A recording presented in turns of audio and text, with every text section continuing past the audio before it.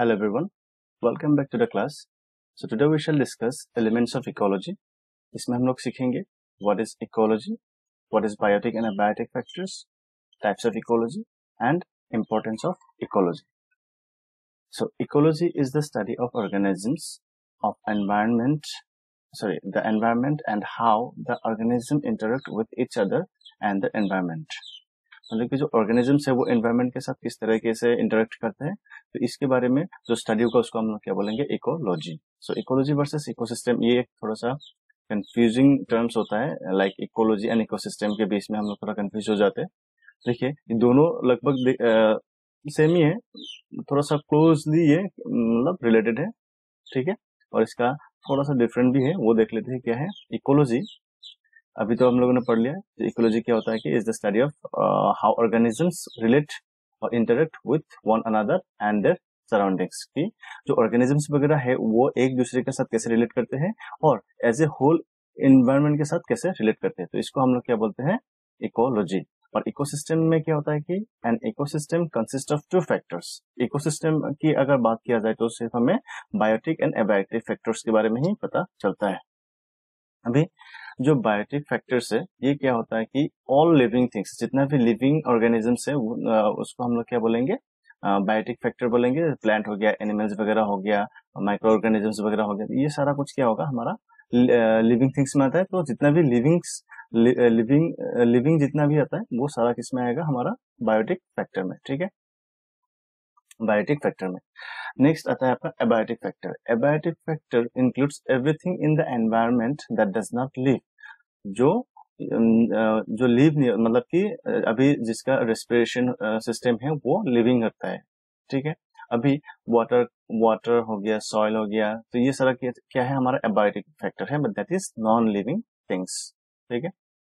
Non living things अभी diagram में यहाँ पे एक हाउस है, ये रोड है and this is water body तो ये सब का क्या है? रेस्पिरेशन नहीं होता है। इसीलिए these are non living things ठीक है?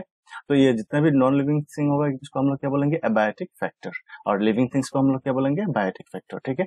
नॉन लिविंग हो गया तो हम लोग क्या बोलेंगे? एबायोटिक एंड अगर लिविंग हो गया तो हम लोग इसका इसका जो ऑपोजिट होगा, वो हम लोग, उसको हम लोग क्या बोलेंगे? बायोटिक ठीक है? Bio means life so that is that will be biotic factor so now the term ecosystem is a sub part of ecology ये जो है इकोसिस्टम सब पार्ट ऑफ़ इकोलॉजी है। तो ये किस तरीके से हम लोग समझ सकते हैं? अगर हम लोग फ्रूट के बारे में बात करें तो क्या समझेंगे हम लोग? फ्रूट के अंदर बहुत सारा कुछ हो सकता है।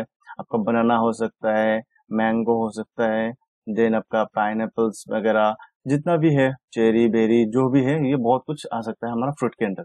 सो so, जैसे कि अगर हम लोग मैंगो की बात करें तो क्या है? Mango one type of food sorry fruit so similarly banana is a one type of fruit similarly in ecology ecosystem is a part or subpart in which we study regarding biotic factor and abiotic abiotic factors okay uh, next is the word ecology was coined in 1866 by the german scientist Ernst Haeckel ये exam में आता है ये जो Ernst Hückel क्या है कि मतलब कि इकोलॉजी का किसने कॉइन किया था इसको किस, किसने दिया था तो इसका नाम है अर्नस्ट हैकेल ठीक है?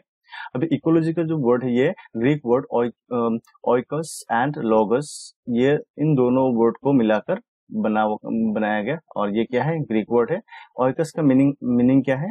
हाउस और ड्वेलिंग प्लेस मतलब कि हैबिटेट जहाँ पे रहते हैं या तो रहने का जगह ठीक है? लोगोस का मतलब होता है कि स्टडी तो ठीक है इस इन दोनों का मीनिंग क्या होगा? Ecology can be defined as study of organisms with respect to their house और ड्वेलिंग प्लेस मतलब कि कहाँ पे रहते हैं? उसके हिसाब से इन लोगों का स्टडी करेंगे। तो वो क्या कहलाएँगे? इकोलॉजी अभी इंपॉर्टेंस क्या है इकोलॉजी का? कि, किस किस लिए हमें ये पढ़ने की बहुत ज़रूरी है? देखिए कंजर्वेशन ऑफ़ एनवायरमेंट एनवायरमेंट का कंजर्वेशन के लिए ठीक है? इसका सेफ्टी के लिए हमें इकोलॉजी का नॉलेज होना बहुत ज़रूरी है। देखिए lack of understanding of ecology has led to the degradation degradation का मतलब क्या? खराब हो जाना, ठीक है? अभी यहाँ पे क्या बोला जा रहा है कि इसका जो नेचुरल जो क्वालिटी था, वो क्वालिटी में प्रॉब्लम आएगा मतलब कि वो क्वालिटी डिग्रेड हो रहा है, कम हो रहा है, ठीक है? Of land and environment it has led to the extinction extinction का मतलब मतलब ये कोई भी चीज़ का जो एग्जिस्टेंस है वो खत्म हो जाना ठीक है?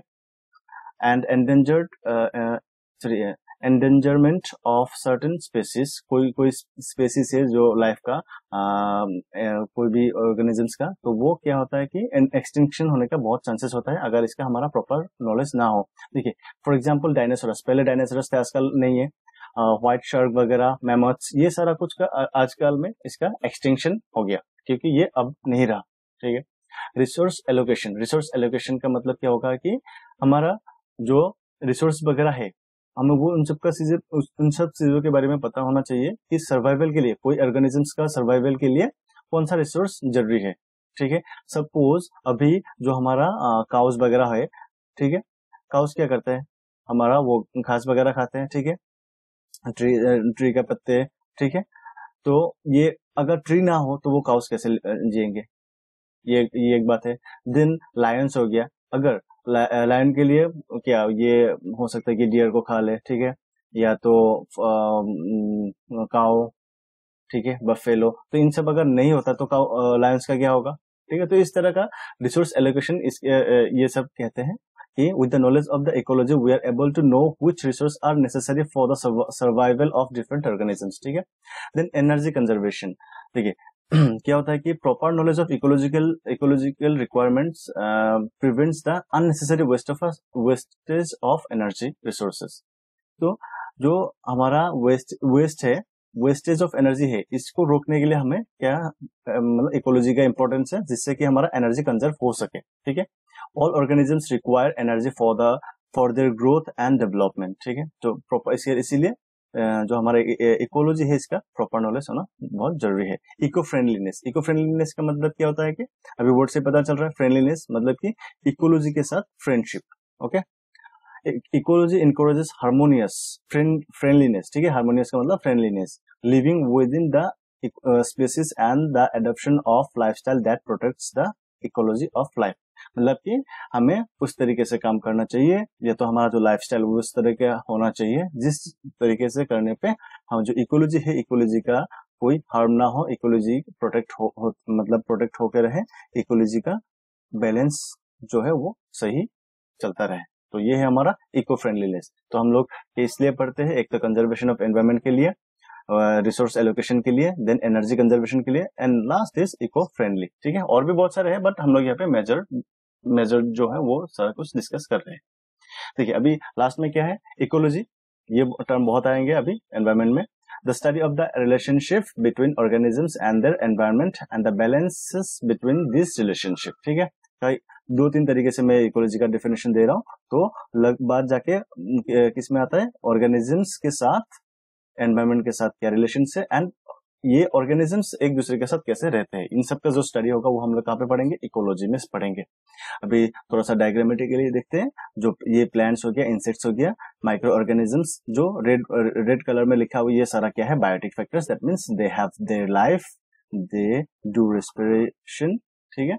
और जो हमारा ब्लू वर्ड्स में है, वो क्या है? एबायोटिक फैक्टर जैसे कि एयर हो गया गैसेस होंगे देन सनलाइट वाटर तो ये सारा क्या है हमारा? एबायोटिक फैक्टर से। सो so, ये था हमारा इकोलॉजी का concept so I hope all of you have understood if there is any doubt we can discuss it later thank you